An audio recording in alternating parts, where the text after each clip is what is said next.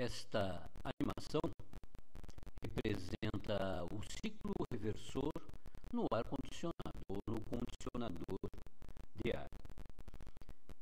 Para que vocês possam observar, é um conjunto um tanto quanto complexo que trabalha dentro da conformidade sequencial e lógica dos mecanismos.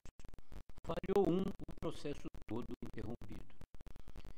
material é pertinente ao curso de manutenção de condicionadores de ar e chillers. Para o leigo, para o profissional.